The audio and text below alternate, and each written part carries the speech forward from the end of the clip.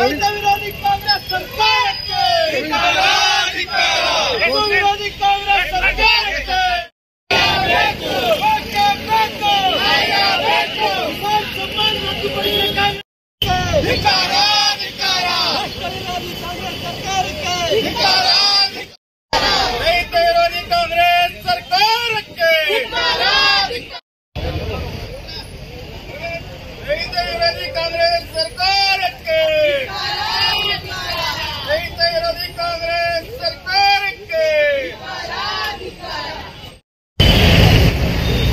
ಉತ್ತರ ಕರ್ನಾಟಕದ ಸುಮಾರು ತಾಲೂಕುಗಳಲ್ಲಿ ಇಲ್ಲಿ ಮಳೆಯಾಗಿದೆ.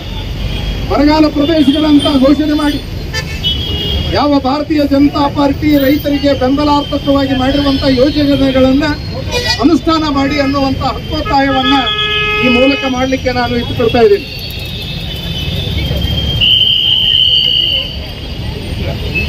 गेलं काँग्रेस सरकार सिद्धरामय्या सरकार यांच्या विरोधात आम्ही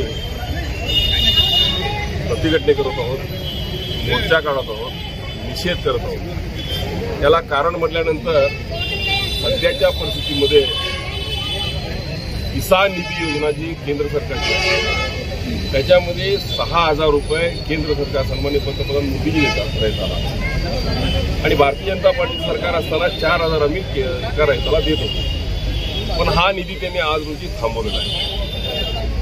वेगवेगळे कायदे उदाहरणार्थ एपीएमसी कायदा असू देत रयतांसाठी असलेला कायदा असू देत त्याचबरोबर गोहत्ये कायदे असू देत हे सर्व एकूण अठरा ज्या स्कीम आहेत त्या ड्रॉप करून हे सर्व पैसे गॅरंटीच्या मागे लावले गॅरंटीच्या मागे लावायचं कारण म्हटल्यानंतर आता लोकसभा इलेक्शन काँग्रेस सरकारच्या डोक्यामध्ये एकच आहे जनता गई भॅड मिळेल पण यावेळी लोकसभेच्या इलेक्शनसाठी काही पाहिजे करावं तयार ह्या स्कीम सर्व जारी करायचं रयतांच्या नरड्याला हात लावायचं काम या राज्य सरकारनं काँग्रेस सरकारनं केलं आहे त्याच्या निषेधार्थ म्हणून आम्ही आज आम्ही हा मोर्चा काढत आहोत. यापुढे जर हे सरकार सुधारत असेल तर याच्यापेक्षा मोठ्या प्रमाणात पूर्ण राज्यामध्ये मोर्चे काढले जातात सर तुमचं म्हणणं आहे की गॅरंटी बंद करावं? गॅरंटी जारी असू देत.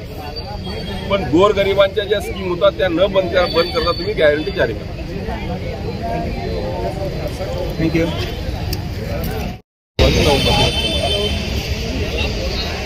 ವಿಶೇಷವಾಗಿ ರೈತರ ಸಮಸ್ಯೆ ಅಂದ್ರೆ ಇವತ್ತು ಇಲೆಕ್ಟ್ರಿಸಿಟಿ ಕೊಡುವ ಈ ಕಡೆ ಮಳೆ ಇಲ್ಲ. ಮಳೆ ಇಲ್ಲ ಅಂದ್ರೆ ರೈತರು ಬೆಳೆಗೆ ನೀರು ಕೊಡ್ಬೇಕಂದ್ಮೇಲೆ ಬಾವಿ ಮೇಲೆ ಅವಲಂಬಿಸ್ಬೇಕು. ಬಾವಿ ನೀರು ತಗೋಬೇಕಂದ್ಮೇಲೆ ಇಲೆಕ್ಟ್ರಿಸಿಟಿ ಇಲ್ಲ. ಹೀಗಾಗಿ ಈ ಕಡೆ ಮಳೆನೇ ಇಲ್ಲ. ಇಲ್ಲಿ ಇಲೆಕ್ಟ್ರಿಸಿಟಿ ಇಲ್ಲ. ನೀರಿನ ಸಮಸ್ಯೆ ಬಹಳಷ್ಟು ದೊಡ್ಡ ಪ್ರಮಾಣದಲ್ಲಿ ಬೆಳವಣಿಗೆ ಆಗ್ತದೆ. ಕಿಸಾನ್ ಸನ್ಮಾನ್ ನಿಧಿ ಒಂದು.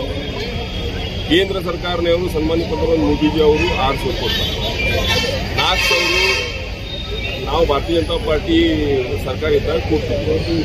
ಈಗ ಅದನ್ನ ಜ ಬಂದ್ ಮಾಡಿದ್ದಾರೆ. ಎ ಪಿ ಎಂ ಸಿ ಕಾಯ್ದೆಯನ್ನು ರದ್ದು ಮಾಡಿದ್ದಾರೆ. ಹೀಗಾಗಿ ಒಟ್ಟಾರಾಗಿ ಗೋ ಹತ್ಯೆ ಕಾಯ್ದೆ.